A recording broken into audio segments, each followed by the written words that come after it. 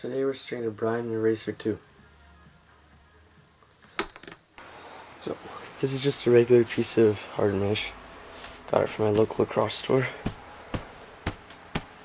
Had this in conditioner, water all day yesterday, so it's fairly soft, but we'll have to work with it. Okay, so we start by getting our three strings, the top string, top string, sidewall, and yeah, I guess the top string and two sidewalls. I'll show you what we'll do for the bottom string in a bit.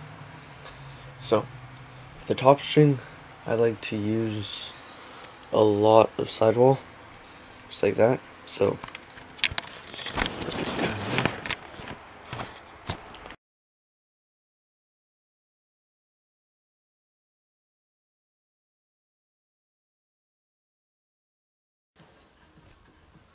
Make sure to burn the ends.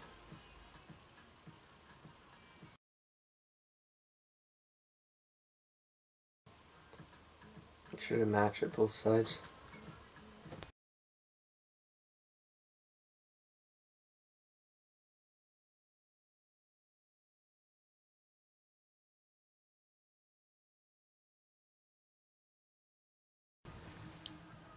So for goalie sticks, the problem that I used to have a lot was not counting right for the which diamonds go in the holes so make sure to double count the double count your yeah whatever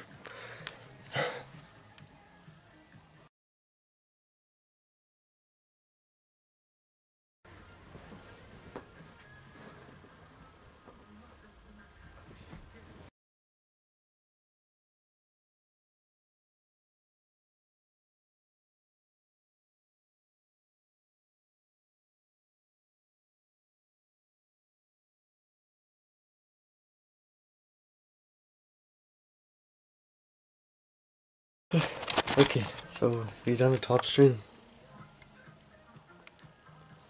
I I actually did eight diamonds total on the top just to get it nice and tight and create a nice channel. So yeah, we'll get to the sidewalls. One thing I forgot to mention is when you're doing sidewalls for goalies, especially if you cram these these two diamonds right here you'll want to pull it from where you you miss those two diamonds. So you want to pull it nice and tight across the top. I'll show you. Actually pull it from right here. So I'm skipping skipping a diamond on the 11 diamond row actually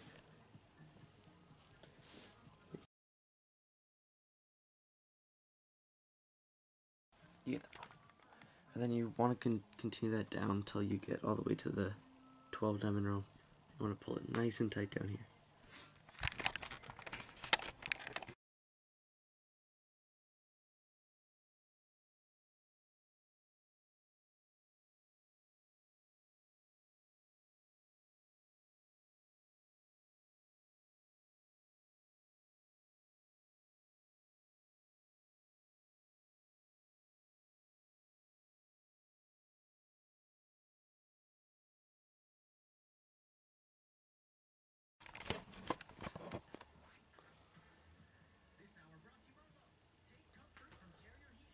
Okay, so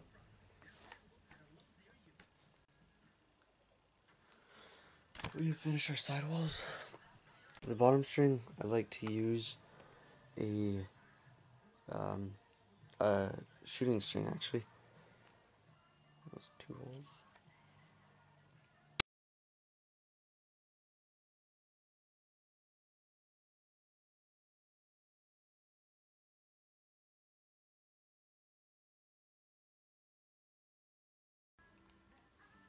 So here's the final product.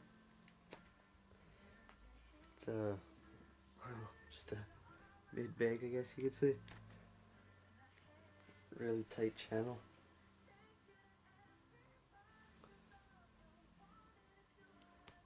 And things with goalie sticks is you don't you don't want it like it's not like stringy player sticks like you have to this part right here you don't want that super tight like it still has to be like you see how it's still a little like it still takes the ball in a bit? That'll help you with your rebounds. But you want it tight enough that it can create this nice this nice channel so. Yeah. Okay. Once again it's an 8 diamond top string I, I actually started it on uh on the second hole right there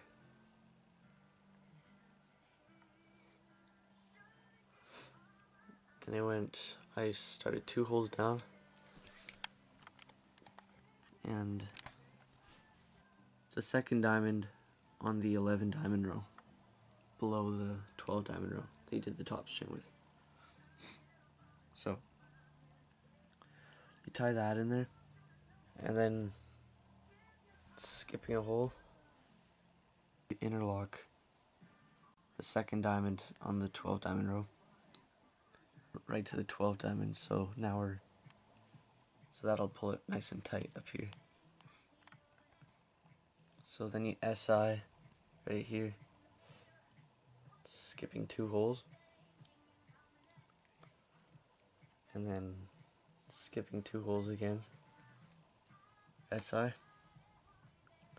and SI skipping another two and then just uh this is just uh what is this?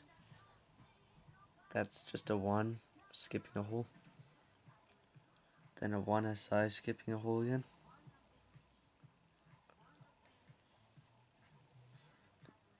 And a 1 SI, skipping two holes. This is a... I went under... I'm not sure what it's called, but you go un under the piece of mesh around through the outside of the sidewall and up through the the loop. Then I actually use the, the bottom string hole to finish off with this. I went through the outside of that, went in there. Yeah. The bottom string, I put it one 12 diamond row below the below where we finished with the sidewall string. So now for the sidewalls, or the, the shooting string, sorry. Normally I would put a U in because it helps with the rebounds, because it gets caught on the U, but I'm just going to do two straights along the top, and then that'll be the finishing product, so let's get right to it.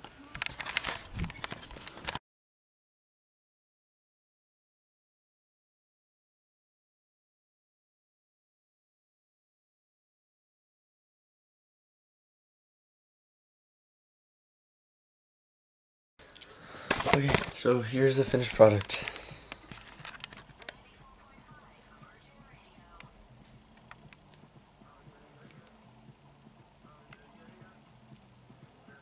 Really nice channel. Alright. Hope you enjoyed. Like, comment, subscribe. See you in the next one.